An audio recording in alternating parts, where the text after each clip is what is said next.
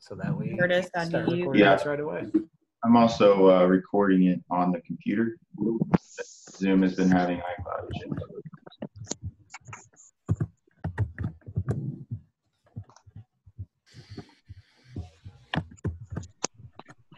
Okay, Curtis, do you want to go ahead and make some remarks?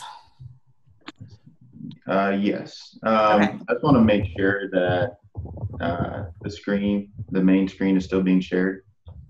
Yes. Yeah. Um, so I'd like to just kind of start off with um, just my uh, excitement of how many people have jumped on board um, to participate in this. Um, I was expecting quite a few. Uh, for there to be a max, to hit our max of 300 uh, is pretty exciting, but also shows the need of um, educators in Missouri right now in this, we call it a time of crisis, uh, to come together and find out um, exactly what it is that they need to do to best educate their kids. I think this is an exciting thing for Missouri educators. Um, and uh, it shows how much we care, and, and I applaud you guys for, for jumping on board. So, um, so just kind of the logistics of the session and how everything's going to go. Uh, Q&A format. Um, go ahead and uh, submit your questions. Um, feel free to submit them um, in a group uh, format. If, if you feel like you want your question to be more um, hidden, uh, I, I would suggest sending that question to your, uh, Tom, send that to Tom, Tom Hairston uh, if you want that to be sent privately. Um, so Tom is going to be the one that's going to be member, uh, I'm sorry, uh, monitoring that process and uh, getting those questions to our panel. And um, also, uh, we're going to record this session, obviously. The recording of that will be um, on the Advantage uh, website. Um, Kendra, probably by the end of the day, since I'm able to doing it on my computer, correct? As long as we can get the recording, we should be able to have that up this afternoon. All right. All right, so at this time, I'd like to introduce our panel of uh, our Missouri Department of Elementary and Secondary Education folks, um, Bev Luetkemeyer, Dana Welch, and Ginger Henry. Uh, we also have some practitioners out there in the field, um, people that are experts and are right there alongside everybody else uh, making things happen. And from Clinton County, R3, uh, up in Plattsburg, Missouri, Brittany Delameter. And Got it. Nixa, I did. from Nixa, Karen McKnight, and from Maryville, Craig Ford. So I'm going to go ahead and just start it off with a couple of general questions as uh, Tom is putting questions together that he's receiving. And uh, so I'll just start this uh, out with the panel of uh, what are important steps for districts to continue for special education learners during this time? Um, what are the important compliance issues? Sure. Okay. Um, I can go. I can go ahead if that's okay, or unless somebody else has something. Go ahead. Um, so the first thing it says, what are important steps? Um, the first thing we wanted to do is make sure that everything that we were offering regular education students, we were also offering to our special education students. Um, and so right now, what we're doing is we have we're just providing learning opportunities um, through Google Classroom. Um, and so we wanted to make sure that we were offering all those opportunities to our special education students while keeping confidentiality. So we downloaded an app that I would recommend for everyone that's going through this right now, and it's Seesaw because it's individualized for each student. And so you can send specific learning opportunities to the student without everyone seeing who is in that. So I can create one activity and then send it to various students without people seeing, oh, also this kid's in that class, this kid's also in that class receiving that service. Um, and then as far as compliance goes, we are still um, meeting all of those deadlines. Um, the only ones that we're struggling with is those initial evaluations. But one of the first things we did is said, okay, we need to contact parents and ask them what um, is their preferred method to meet for these IEP meetings. So sometimes we call them and we just start merging calls. Sometimes we do Google Hangouts. It's kind of at the at the parents' discretion how they want to do that. But basically, it's just doing what's best for the kids, maintaining confidentiality, and then do, trying to just meet the parents where they're at. All right. Uh, Bev, is there anything additionally you want to talk about when it comes to um, the uh, compliance issues? No, I think that was a perfect explanation about how districts will handle this appropriately. Um, there, there ha- there isn't any authority on the part of the state to you know extend deadlines for IEP meetings or initial evaluations. Um, so, I mean, those are the rules we have to operate within. And really, it's going to hinge on being able to figure out how to get your work done using alternate means, using um, Google Hangouts and conference calls and things like that to the best that you can do and documenting um, if there was, you know, if you didn't meet a deadline, why that was. I can tell you at Nixa, we're going to be starting with our full implementation of all, our alternative methods of instruction at AMI next um, on April the 6th. So we've got an, we're still a week away from that. But our biggest piece has been providing guidance to our general education teachers with our SPED right alongside of that because, um, you know, that free and appropriate public education just changed for every student across Missouri and in Nixa. And so we have to really figure out where is that new general education learning target? What are our gen ed teachers putting out there? And we want to make sure our gen ed teachers are doing something in a very consistent manner so that us as special educators can come in and support that. But we have to know what they're doing and we needed to put some parameters in that. So we did that through um, our alternative methods of instructions when we developed that piece. Um, we have to adjust our supports and we might not know what's best for each student right out of the gate. And we know that we're going to have to adjust those supports. But we've got our, our general education teachers thinking about those accommodations and modifications on the front end of the assignments they're sending out. Um, and our our teams are, of educators are on those. We have we're a PLC community and we're continuing with our PLC meetings in a virtual environment as well. And so they're really trying to connect as well on that piece. Um, our third quarter cut off right before spring break and right before all of this happened. So we've really hammered home to our staff that these third quarter progress notes are probably some of the most important ones we'll, we will be writing um, because this is ultimately our baseline that we're taking into some of these decisions we're going to have to make down the road in, on compensatory services. So we've really um, asked them to hone in on all of their data that they collected to make sure that those third quarter progress notes look the best and most um, have the best picture of where the student is at prior to this closure. Um, yeah, timelines are, a, are an issue for sure. Um, we're trying to adhere to all of our um, annual deadlines as well as our three-year reeval deadlines.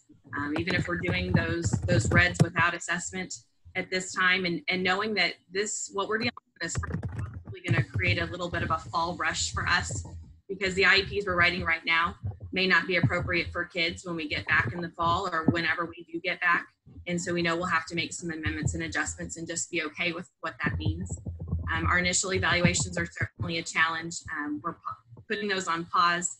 Uh, there's no other way to do it. Um, we're going to have to be out of compliance in some areas as far as timelines go, but we're just communicating with those parents what that means, what we had accomplished and finished up until this point, and what that looks, what we think that'll look like we are able to resume. Awesome. I would re- I would reiterate that the same. And remember, we're starting April 6th also, kind of um, taking this week to unload everything and, and try to figure out how that's going to look.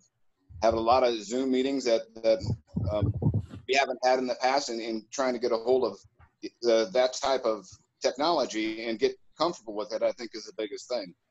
Um, giving those opportunities, um, we're also trying to utilize as much technology that we haven't used in the past. I think getting comfortable with that and being flexible and not being afraid to, you know, try some things that, that may not work initially, but trying to see what works out best for your students. I, I think that's going to be the key to this. All right. Um, so we kind of touched a little bit on this, but generally, how are special education services being provided in this environment? So, like, what are kind of some of the strategies put in place? Um, you know, uh, is Zoom conferencing with parents a good de- idea?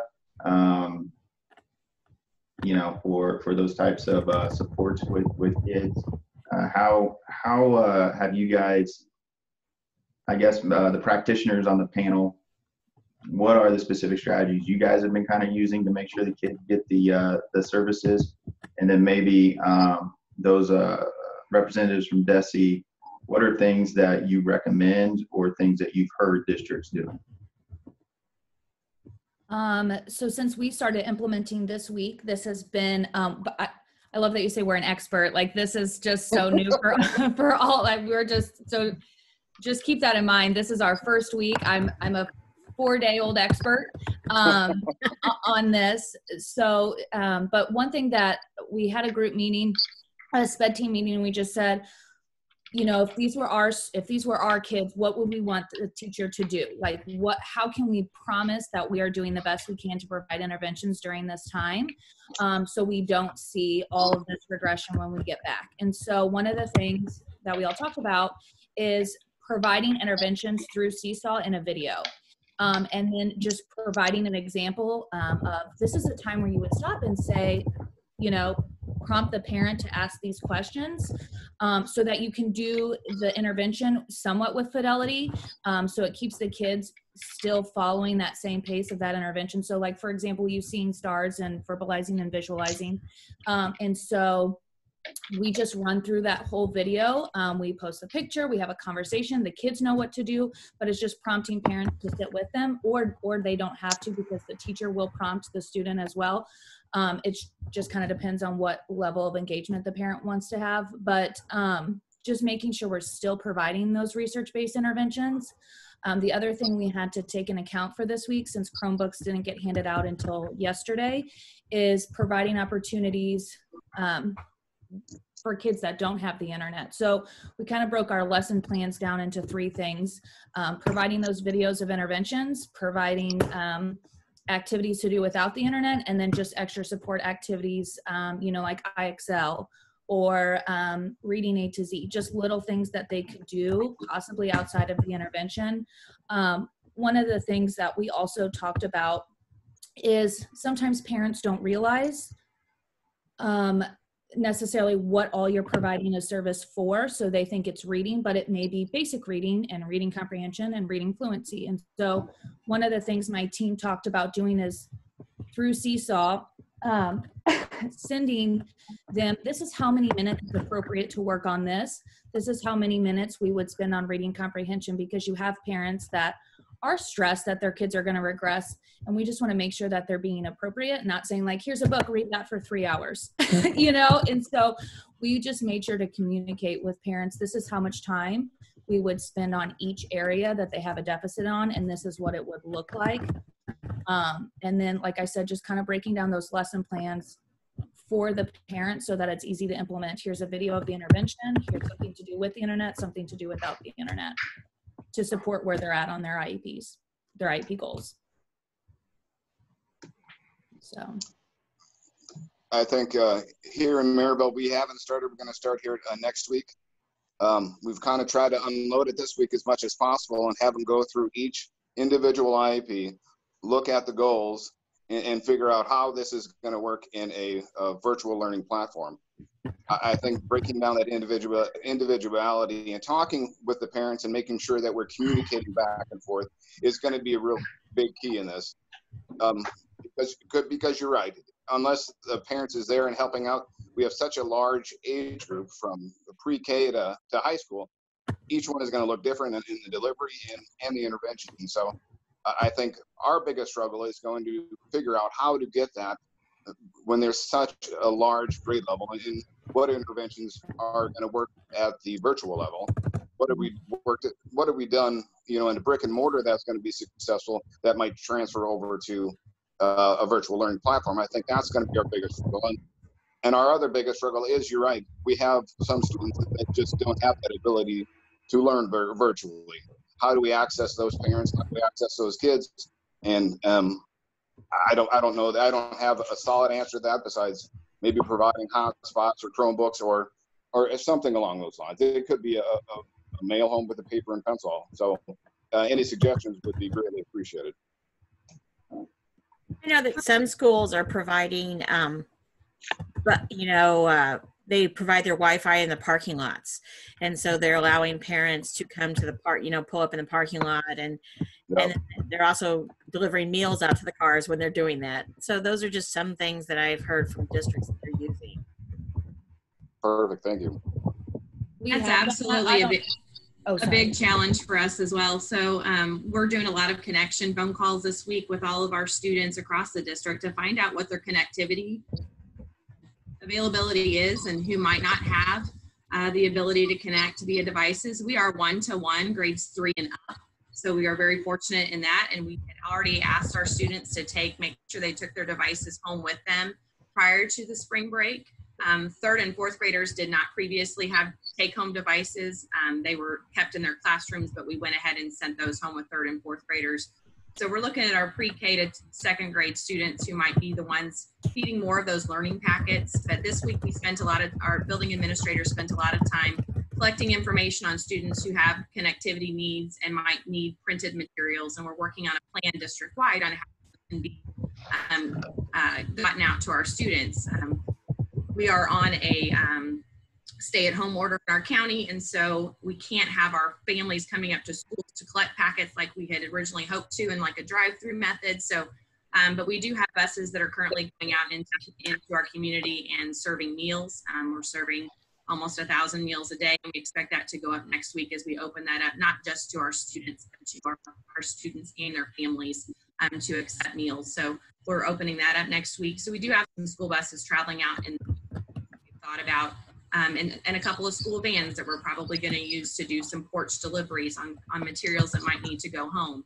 We're in the same boat. You know, we had to put some parameters on what general education looks like. And so they have some guidance on how many minutes they should be working on ELA or math um, per day. And they have some consistent district expectations on when that information needs to go out to families so they know what to expect for the week. Um, families are really right now with multiple phone calls, um, or they can be if we're not careful. I'm hearing from a classroom teacher, a case manager, a related service provider, and all of that. So we work with managers to try to be that collective person to make the special education phone call home to our, our families with our plan of services and talk to our families about what are their concerns in trying to provide schooling at home because everybody's going to be different. I, t- I told our staff that we can't can't help plan for every student for them. They have to make those decisions and make those adjustments as we get into the process. And we still have another week of planning we're able to do, which is really nice. Um, our, our a lot of our related service areas already use therapy um, for our Medicaid billing, and so they have opened up a teleconferencing opportunity for our therapists to do a lot of um, therapy um, via Zoom. Is I think the platform that they're using as well.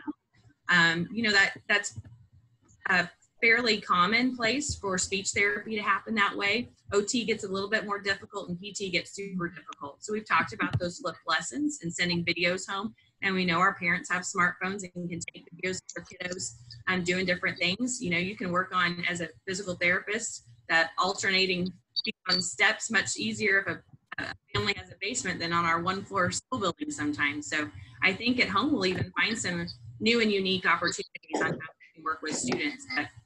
We're really helping to train our our parents to now do the roles that we were doing as facilitators, education facilitators, and and even some of the role that our paras have played. We've talked about how we can walk parents through developing visual schedules for their kids at home um, and some things like that. So it's going to take a lot of work and it's going to take a lot of adjustments. And I, I wish we had like the um, the silver bullet for all of that, but we're using platforms like Seesaw, Google Classroom, uh, Canvas as well. And then we are going to be using Google Hangouts. Um, we open that up for our students on their Chromebooks that they have at home. There's ways to videotape your sessions there and have that um, archived recording in our Google Vault. So we're doing that um, where we can kind of archive the chat windows and things like that. So um, we're continuing to look and I, and I tell our staff I reserve the right to change my guidance when guidance changes around me. And we know that that's happening all the time right now. We just have to make those adjustments and and say okay and move forward. All right. Um, I feel like uh, in a lot of ways we've touched on uh, the third bullet, and uh, I have a feeling um, a lot of the questions that people have chatted in are going to be surrounding mainly that topic. So I'm going to go ahead and um, turn it over to Tom Hairston, Dr. Tom Hairston, um, who is a co-director of NEE and director of research. And, uh, and so um, I'm going to turn it over to him to go ahead and uh, bring out his list of questions. Excellent. Thank you, Curtis, and thank you to the panelists as well for uh, the information you've provided so far. Uh, thank you also to the participants uh, for the uh, questions that you have been asking. I've been doing my best to try and get those into some different broad topics so that our, our panelists can talk about those uh, topics and get to hopefully the different questions uh, within those. Uh, the first topic that's really been evident uh, that we're needing some questions answered on is the evaluation process, both initial evaluation, how do those either start or continue, uh, and then also the reevaluation process of if in both the reevaluation, if you were in the middle of reevaluations and everything came to a halt, or then as reevaluations come up, how do we uh, go about completing those reevaluations in a timely manner as well. Uh, so let's go ahead and start first uh, a conversation for panelists about those initial evaluations, uh, whether beginning an evaluation or continuing an initial evaluation and process or in progress. How do we uh, continue going through that process at this time? Okay, well, I'll jump on that one. Um, and just to give you heads up, um, compliance team is working on some frequently asked questions, Q&A document um, that's going to cover a lot of these same questions that are in this uh, webinar today. Um, and we'll get that out to you just as soon as we can. So one of the things we talk about is the evaluation timelines. So the same extensions that have always applied apply in, in this crisis. Um, when kids aren't available for testing, the, that's an acceptable reason to extend that initial evaluation timeline.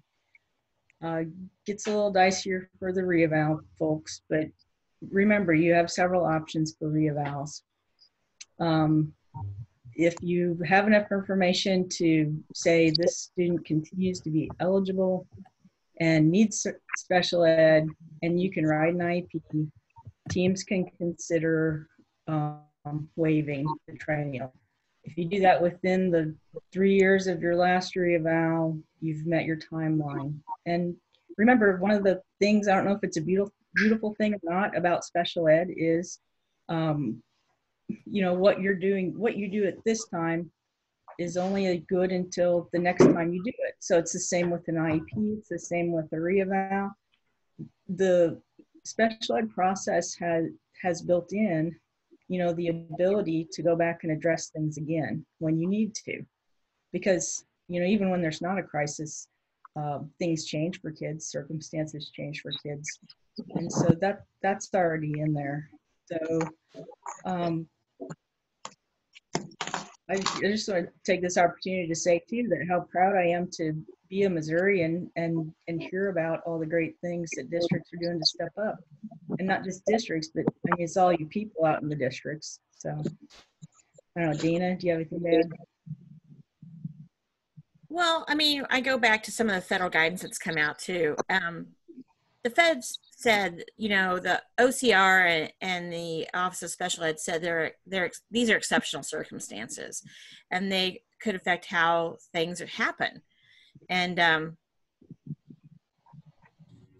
this is a national emergency is what they basically boiled down to and districts should be just constantly communicating when you have those things come up during the evaluation process and reevaluation process you need to be documenting and communicating that documentation um, and vice versa with all those decisions that are being made so that's going to be the biggest thing in the end of it when we when when we see the light at the end of the tunnel is making sure you have that documentation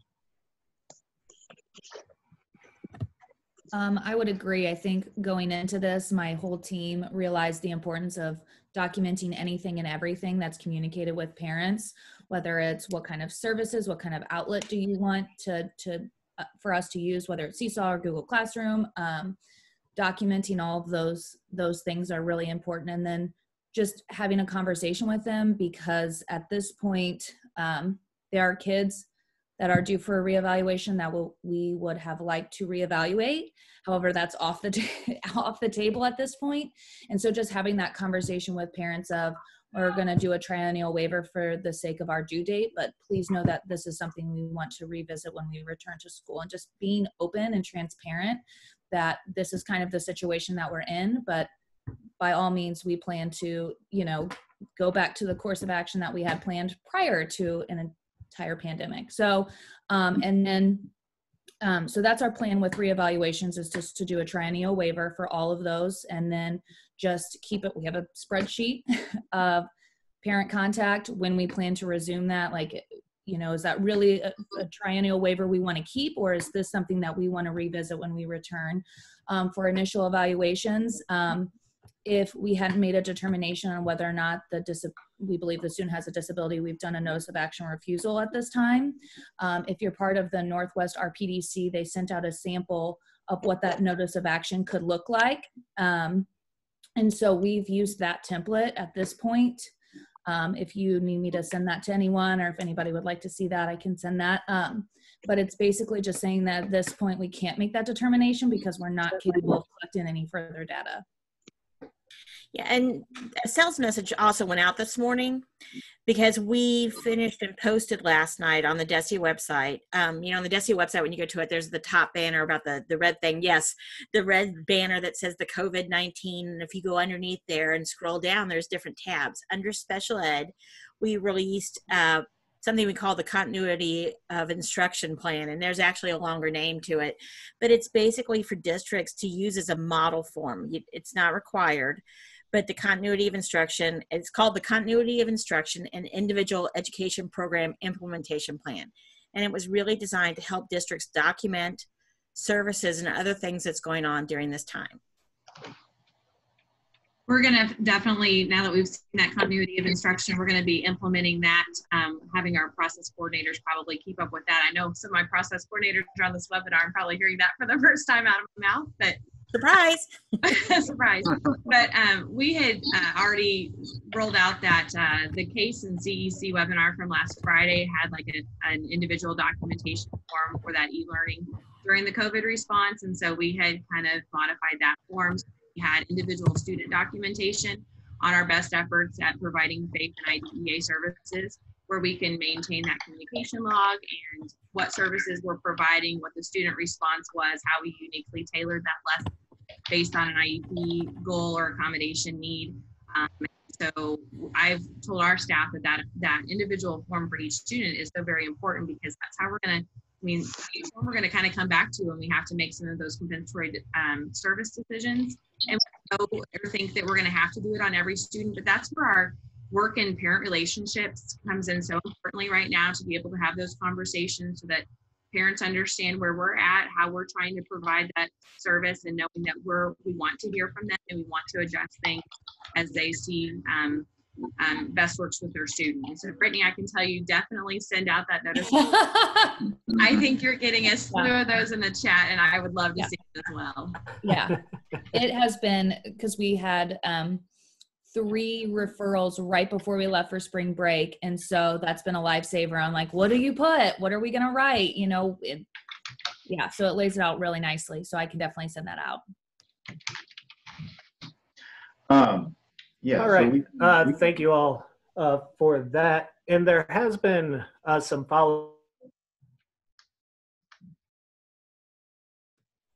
we'll work uh, with Brittany to make sure that uh, we get uh, something out to you about that and have that on our neadvantage.com uh, write up of this session as well. Um, I also want to go back and talk a little bit about assessment. There's been a few follow up questions about would you uh, start the assessment process after that evaluation or hold off on uh, the assessment instead of things until things start coming back to a uh, normal type uh, situation again?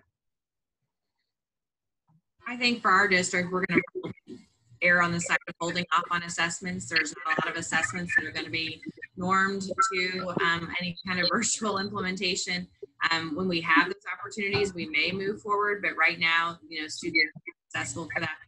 So for the most part, most of those are going to be paused on our end. Yeah, we're basically in the same boat. We're just gonna wait. There's nothing that we can provide at this point, assessment wise, that's gonna help with any qualifications, so. okay. Yeah, but I would also agree that's kind of the direction we're going in and, and uh, until things change, um, that's, that's kind of what we have to do. If I can tell you one area that, or Dana, that we're really struggling with, um, is our YCDD. Um, our kindergarten kids who we might not have had those finished or unfortunately maybe started in a couple cases. And so um, I didn't know if you all had any guidance on that side of things um, before they hit first grade. Um, we do. That's actually in it, one of the questions in our question answer document. Um, basically, our, our answer provides some strategies. Let me see if I can pull up my document here for you. Um,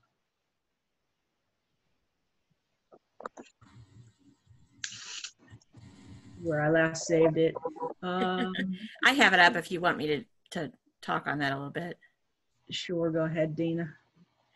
Okay, so um, with the white, with the, we're talking about the kid transitioning in.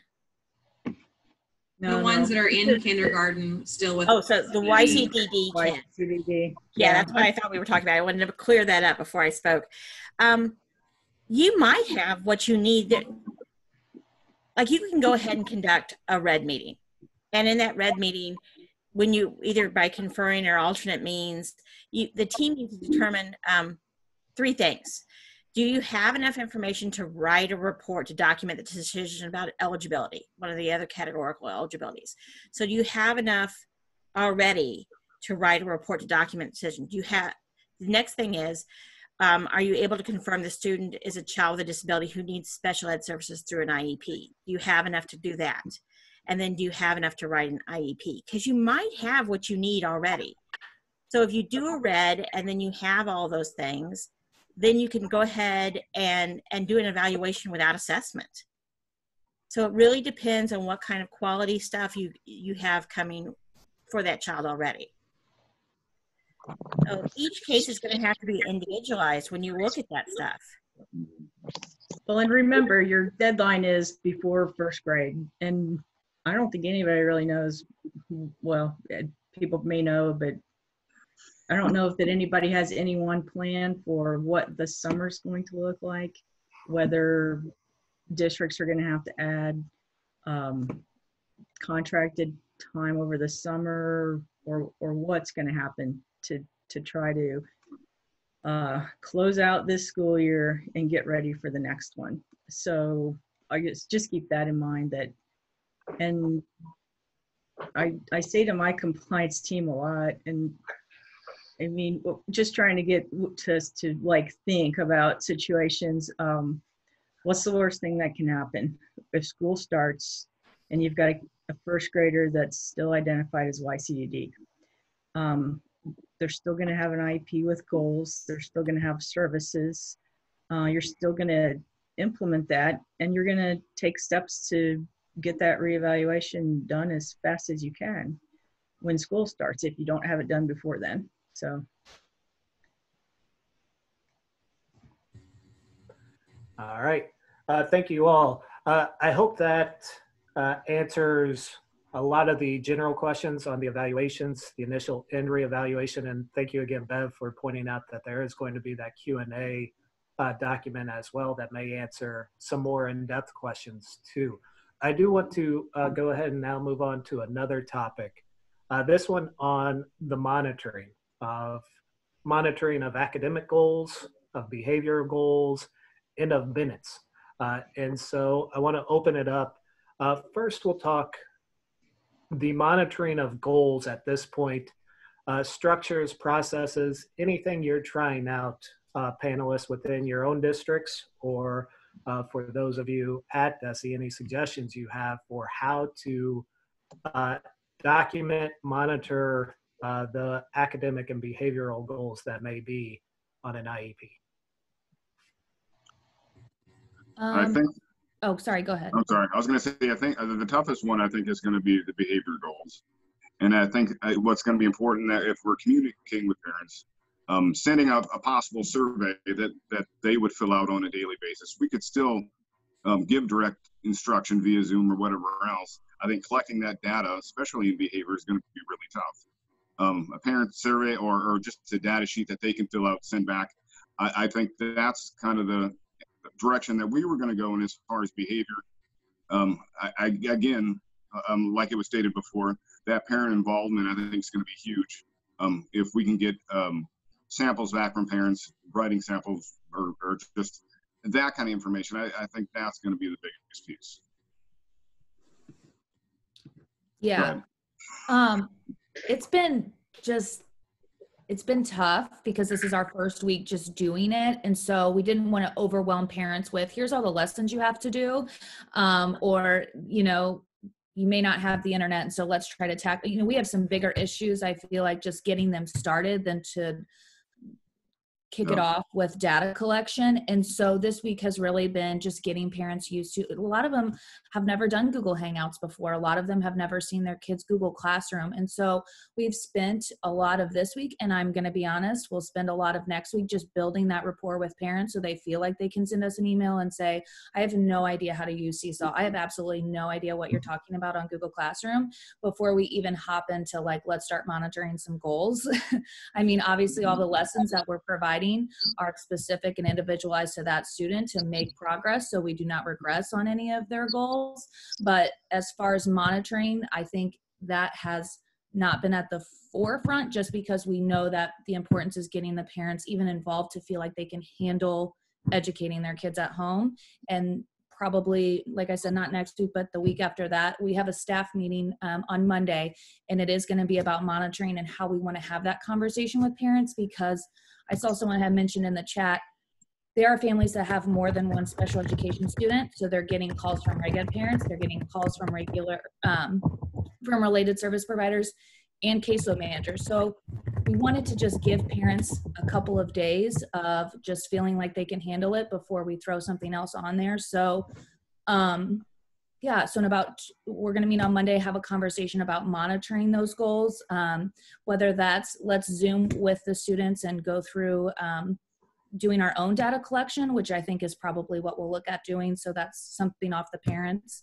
Um, or doing it via Seesaw. Um, yeah, so that's, I mean, we don't have a good answer for that. It's just kind of meeting our parents where they're at um, to not overwhelm them and shut down completely. So.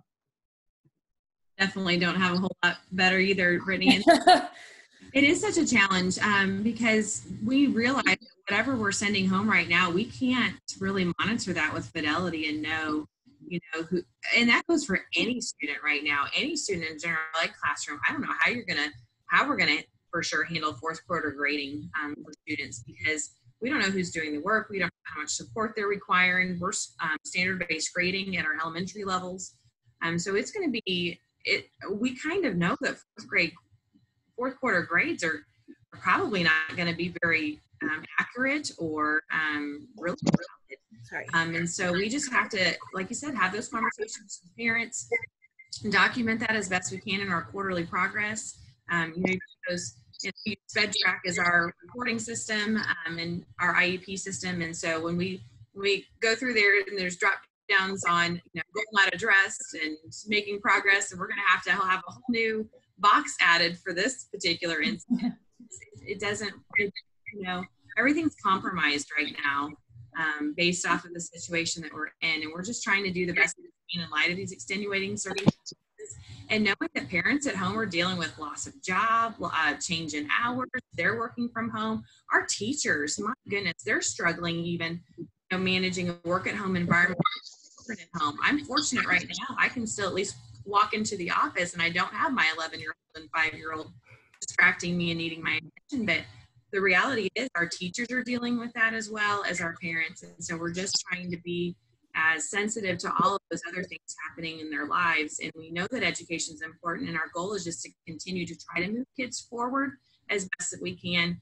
Um, and knowing that a lot of our kids, whether it's a special ed student or a gen ed student, we're going to come back in the fall most likely, um, you know, with a with a quarter less of learning, of true learning the way we want to do it. So um, mm-hmm. can't expect our parents to do it all for us by any means, but we want we want to empower them and give them the best tools that we can in the meantime.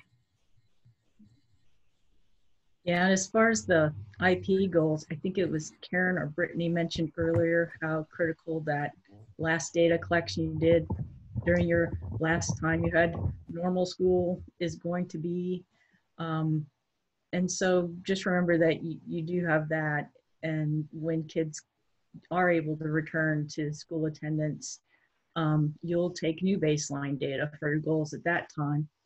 Um, and that'll help you shed light on whether anything you collected in the interim was accurate or whether it should have a little asterisk beside it.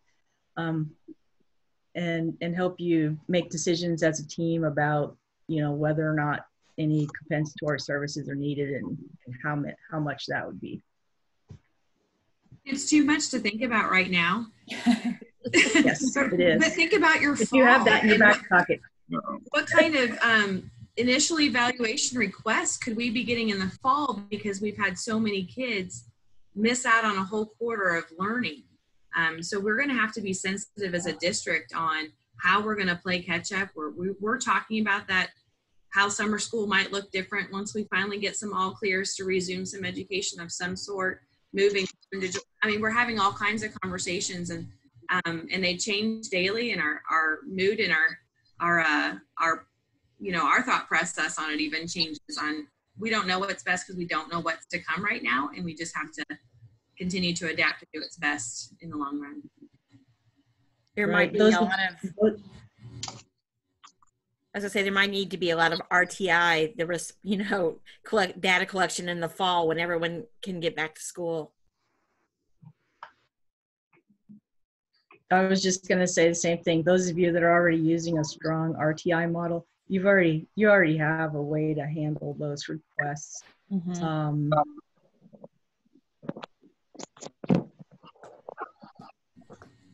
all right. Uh, thank you very much uh, for those. I want to get now into uh, something that we kind of touched on just a few minutes ago the situation of now working closely with parents, and especially uh, parents that may not be responding uh, for whatever reason. That may be whether it's um, parents themselves being overwhelmed, not having the time, parents refusing service. Maybe it's that there's not a lot of technology available at the home of the student. Um, how do we go about uh, working, or what suggestions do you all have to uh, get signatures, or what? How may we be able to document that we held this meeting? It was over the phone, um, or it was over a Zoom meeting, but the parent has signed off on this. Uh, what type of strategies, uh, suggestions do you all have for uh, that type of communication and overcoming some of the obstacles uh, when we do face non-response type situations. Well, that new DESE state that new DESE state form has a parent contact log option, and we are um, requiring that for our individual student documentations to document that response, whether it's a student or parent response or that non-response, and then the action we take. Okay, I'm to say this too many times in response to their non-response. Mm-hmm. So we're just trying to make sure that we've documented all the efforts that we've made in good faith to try to provide services, but we do know that, I mean, it's not just our kids that aren't going to perform work. There's going to be students in our gen ed classrooms that aren't going to perform work. And we're just going to document that the best we can. And then, you know, when we come back and have those con- conversations about do we need compensatory services and things like that, you know, we'll have to take those things into account. And I can't tell you what our decisions will be right now on that until we kind of work through some of those situations. But um, that is certainly a concern and one that we've talked about. But uh, I think as long as we're continuing to make our best effort in documenting our efforts on that front, um, that's the best we're going to be able to do. And I would agree. I think I'm very fortunate where I'm at because my caseload managers already had great relationships with their parents. They've worked really hard this whole year establishing those. And so it has not been um, common that our parents aren't responding to our caseload managers because they've already had that rapport. And so they're doing a really great job of answering and talking to them. Um, and then I think our caseload managers have done a good job um, just realizing where parents are at. Um, there are some that are really they're in survival mode right now, and so it's just one of those things of you know what, here's where you can access this information, and then maybe why don't I just talk to you again next week when things slow down, or when's a good time to call you back and have that and have a better conversation about this. You seem really overwhelmed right now. Just, I mean, really the it's relationships at this point that matter the most in my eyes because I think that's where you're going to get your parents to actually respond. Um, and so sometimes it's frustrating for us as educators because we've lost all of our control and we just think about all the kids that are not getting any sort of education for the next four days or five days. And then you just sit there and think about, oh my gosh, we've done so much this year. But really just trying to remember and, and just validating parents at, when you talk to them. Or just email them and so that you get a chance to say you know what? I know you have a lot on your plate and this is really frustrating. If there's anything i can do please let me know.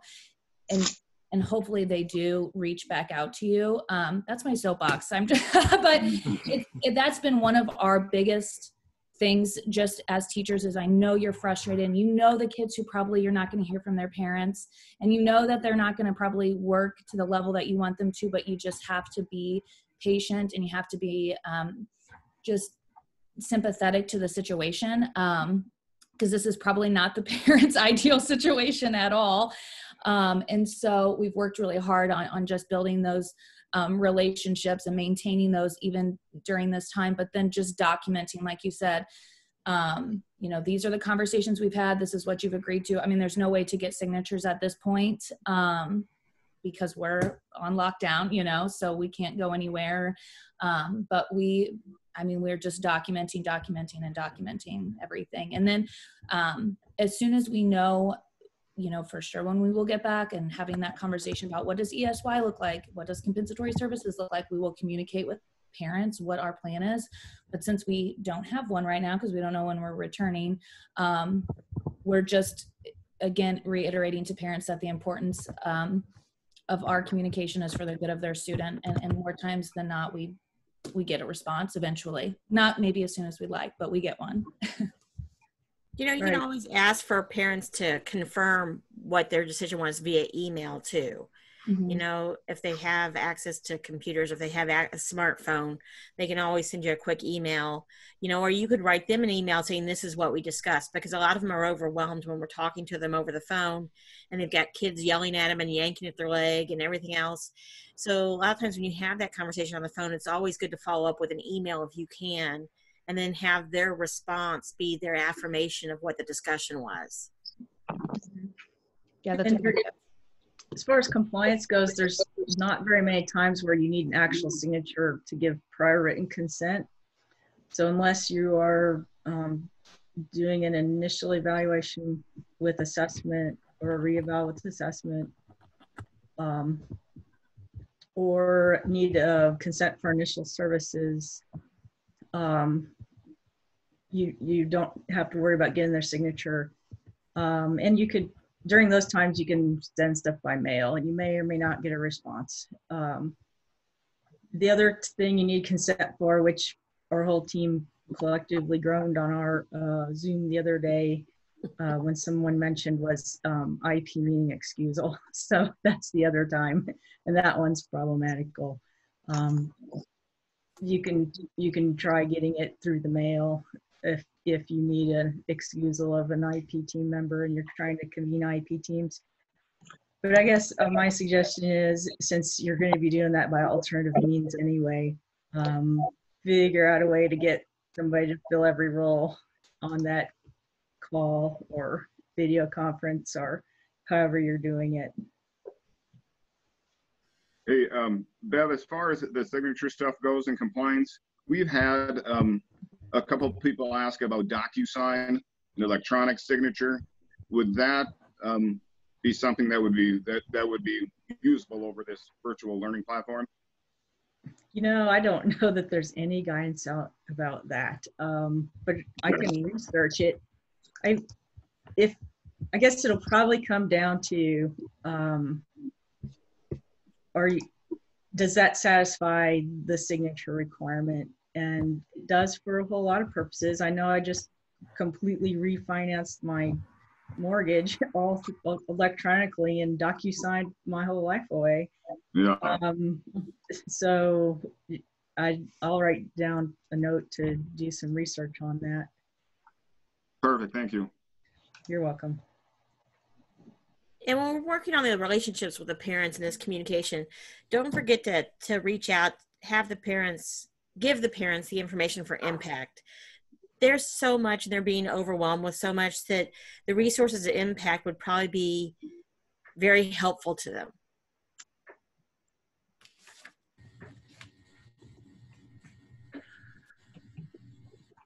All right, thank you all for that. I want to move on to our next topic now, um, and that's about uh, services that are typically provided by a private private agency or a state school.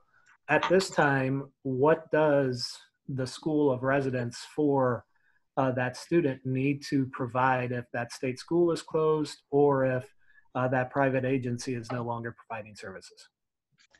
Um, I'll, I'll handle that question. So as far as private agencies, those are contractual agreements between school districts that place kids there and those agencies. So they'll want to uh, examine those contracts carefully. Um, and, and within that, follow all the same guidance um, as far as, you know, basically you need to know what's going on with them.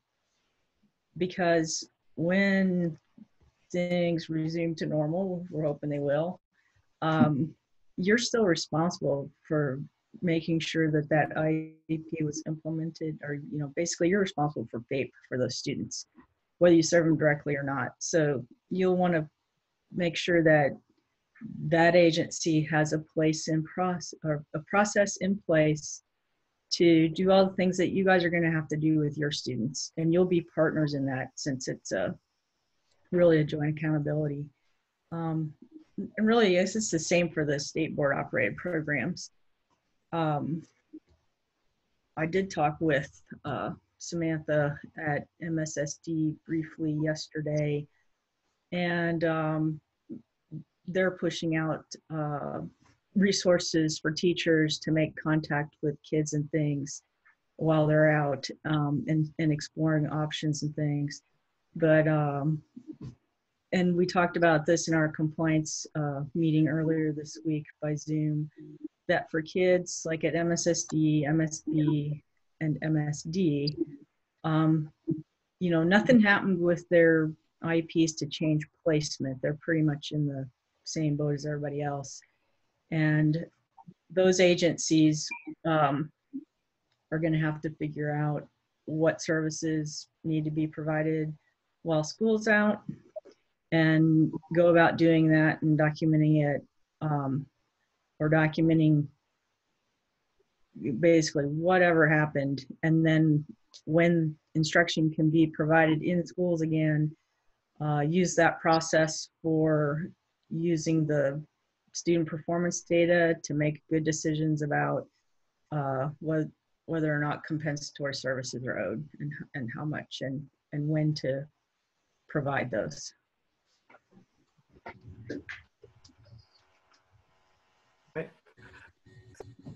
Uh, for that explanation as well.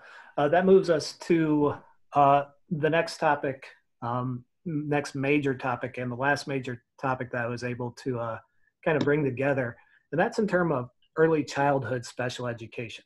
So what type of what type of materials, what type of resources, what type of strategies have you all figured out, um, or have you all tried uh, for early childhood special education? Um, and a couple of subtopics here uh, in regards to autism and also in regards to uh, first steps as well. I well, okay, so I'll try to jump in here. So I've got a great process coordinator who handles a lot of our early childhood special ed side of things, but um, our early childhood program already used Seesaw, and so that is definitely going to be a resource. I know that they're going to tap into as far as sending home um, video lessons or being able to communicate with their families back and forth. Um, we're in an integrated classroom setting, so they're also doing that for their integrated students as well. Um, but again, just trying to find ways to those goals. The great thing about early childhood is play is such an important piece of what we're working on with those kids. And I think they're going to be getting a little bit of that at home for a while because um, parents are just busy handling other things as well. So um, we're going to ask those teachers to still do like a biweekly check-in um, times a week, um, just to be making sure that um, they're connecting with their kids, their families, seeing you know what supports that they might need. We've even talked about, you know, all of our kids left all our school supplies here at schools. We've talked about finding ways to get supplies home to kids if they don't have them um, through our, our meal delivery routes and things like that. So um, this is an age where some of that might come into uh, effect more. Um, I'm, I don't, I can't answer the piece on first steps. I know that they're trying to, I feel like there was um, some things happening pretty recently about trying to figure out how to handle all those third birthdays that might be happening before school is able to resume and things like that. But you know, our early childhood teachers are approaching it the same way as a lot of our K2 teachers and trying to send some activities home and doing some things with them and, and those frequent connections with parents. Karen, I'm so glad you went first. I didn't want to. I know. I was like, I'm not talking first. Um, so, um, because I wanted to see what you said. So, um, and now I feel a lot better about our plan. Um, so we're basically doing the exact same thing um, that we are doing K 12. Um, the important thing I think that we um, are doing with Seesaw is again just explaining, um, you know, what makes an effective um, read aloud how can you stop and ask questions? You know just modeling for parents um, and then but like they're doing a read aloud and they're just modeling how you can question throughout that. Just supporting parents if they want to do that on their own time but then also providing a resource if parents need a break and they're like you know what? You read to my kid for a little bit. And so um, they've done um, an amazing job. I um, have three teachers um, at the ECSE level and they have gotten together. They each did a week of lessons. Um, they put all the materials list together and they shipped out those materials out. So all of those kids have all the materials to do the lessons if they choose. Um, and so those are all without the um, use of the internet.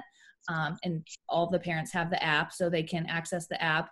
Um, and they have all of the, like I said, all the resources and materials to to build or to do whatever to complete the lessons.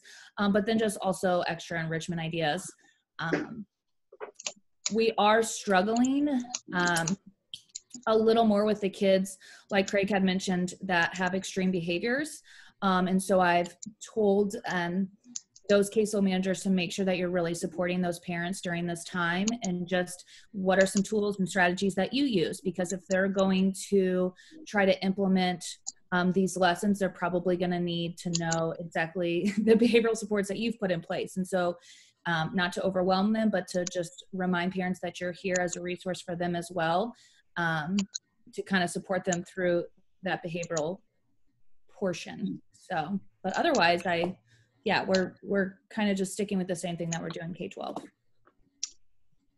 Also glad uh, you ladies went first because I am not the uh, early childhood coordinator either, but I think our biggest uh, concern was supply and how do we get that stuff home. Um, what we have also been doing is, is we've had meal pickup and trying to coordinate that with with our early childhood um, um, families. Um, and I agree with their, whatever the, everything else they said. Spot on. All right. Uh, thank you all for that. And also thank you to the participants that have been responding to these questions with their own suggestions, their own ideas, and ways that they're tackling within their school district uh, some of the uh, solutions as well. Uh, the final thing uh, that I want to get to, as this is a question that has come up, is uh, some of the other services. Uh, when we think about occupational therapy, um, PT, speech language therapy, what type of what type of services, what type of structures, um, resources are being utilized, if you know of, uh, for those uh, services as well? we're kind of at the beginning stages of, of, building that. I think the easiest, not the easiest, but I think our OT or our, our speech people are starting to set up uh, um, their communication, recording it, and trying to either do a recorded uh, message or allowing um, a, a, small group instruction. I, I, think our OT was having trouble with with that supply aspect too. How do we get uh, stuff home to the parents and and how do we how do we progress monitor that? So we're we're we're still in in the building process, but I think those uh, is kind of the direction we're going in right now.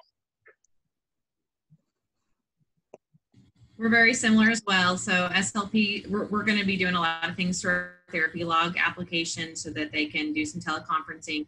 Um, our OTs are, I'm meeting with them on Monday. So I don't know that I know entirely what their plan is, but I know they're working together to talk about how um, kids can use things that they have at home and that they can utilize things that are commonplace in a household. Um, they're also collecting some information on what kids might need access to some of those supplies and things. Um, we did a Zoom conference with our physical therapy folks um, yesterday, and they're pretty overwhelmed with how to make all of this work. And we talked through some suggestions on, on things that they can do. Um, Seesaw being definitely an application that a lot of us are familiar with, or just a lot of those um, a lot of physical therapy, you got to see what the kids were doing. And so we just talked a lot about, you know, getting videos sent to and from and things like that for them to model with a parent um, what this needs to look like. One thing that we're really struggling in, in figuring out how we want to handle is kids who have um, some pretty significant equipment that they have here at school as far as standers and things like that that we you know we had kind of a re- regimen that they were on as far as um, when they were in their stander and when they were in their, their wheelchair and some things like that. And so with parents not having access to those things that we, we that are school owned, we're trying to figure out what's our plan. We're going to loan those things out, but we're also very cautious of anything that we're sending home are those things that we're going to want back. We need to be okay with maybe not getting everything back or um, having a plan for how we're going to clean those things when they come back. So like we're, we're having those conversations on so many different levels as far as our tech stuff once it comes back or um, our physical equipment that we or supplies that we send home or our library books that have been sent home how we might want those back with um, knowing what this virus can do and some things so again don't have those answers to that we're still trying to process through how we're going to quarantine all the stuff we end up getting back for a while um, yeah, as far as how Plattsburg's handling it, um, we're doing a weekly conference with each student that receives related services just to check in to see how they're doing, um, either with their parent um, or with the student um, and their parent together. Just how are you um, working through the things that we gave you? And then just to check in, kind of like a data, just a therapy session basically, um, just to see how they're progressing or if they are struggling with a particular assignment provided or activity provided, I should say, or if there's any questions by the parent, they wanted to do weekly um, Google Hangout meetings uh, with those parents and with those students just to see how they're kind of progressing um, with the therapy. Um, and then just to, again, kind of like you said with the equipment, do you feel like you need some additional equipment for this task? Do you feel like you can, you know, and then, um, or do you have some of these resources already available to you? And it's funny because, you know, even our occupational therapist said there's so many great things like you know that you don't realize that they have um, within their home like utilizing the steps and doing these things so they've gotten really crafty and resourceful when it comes to providing therapy within the home um, and so we have not had again this is only week one and today they're doing well some of them probably have already started um, doing their parent check-ins and so i'm curious to see how the parents feel like therapy is going um, and and just again it's it really is hard to to say that we have a for sure plan because it'll probably change by Monday, and then that plan will probably change by Friday. So um, we're just trying to meet the the needs of the students and the parents. And and you're right, like if they need the equipment, I mean Plattsburg probably is just going to give that equipment, and we'll have to figure out what we want to do. But it's better to provide it and do what's best for the student, and and then we'll figure out the rest later. All right. Hey guys, I want to thank you all, especially our panelists, uh, for taking this time out and helping Missouri um, as a whole um, educate our students and provide the services that are needed. So uh, thank you guys so much. I really appreciate it. Um, as far as some of the uh, documents uh, that were asked about, we'll try to make sure we can get those out to everybody. Um, at least, you know, be able to provide some kind of a link or provide it on our website. Um, I see Dana just went ahead and put a, a link down um, in the chat if that's something you guys want to click on there and, and try to get to. Um, so again, thank you, uh, panelists. Um, before everybody goes, I want to um, invite you guys to some uh, other upcoming webinars.